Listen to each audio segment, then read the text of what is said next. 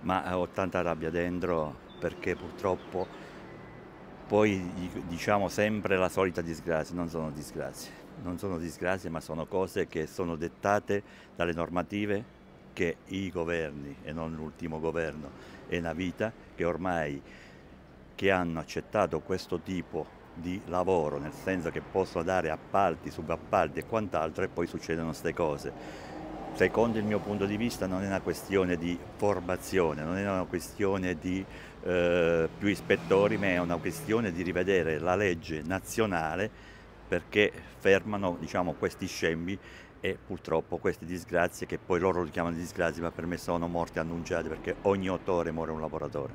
Questa sorta di patenti appunti per le imprese di cui si sta parlando al governo voi cosa pensate? Ma secondo me sono, tutto serve, per carità di Dio ci mancherebbe, insomma, diceva qualcuno piuttosto che niente è meglio piuttosto, ma non è con questi meccanismi risolviamo il problema, il problema di fondo è questo, che dobbiamo abbattere gli appalti.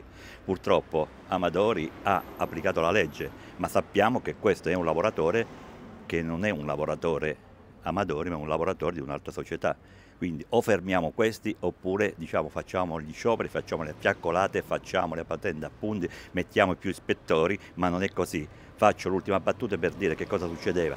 L'Italia è un paese dove ci sono opere mastodontiche che 400-500 anni fa sono stati costruiti con 18-20 anni di cantierato, senza un morto. Mi mi spiegate come, come, perché funzionava, perché non succedeva? C'era più formazione? Assolutamente no. C'erano eh, più tecnologia? Ma penso sicuramente no. Erano, c'erano più ispettori? Bah, non lo so se nel 1600 c'erano ispettori.